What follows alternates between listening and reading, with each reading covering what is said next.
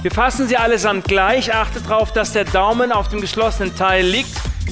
Wenn ihr merkt, dass das zu leicht sein sollte für eure Teilnehmer, dann geht ihr auf den Level 3. Achten darauf, dass die Handgelenke gerade bleiben, aber durch den Anpressdruck der Jeps aneinander bleibt das automatisch ein Stück weit.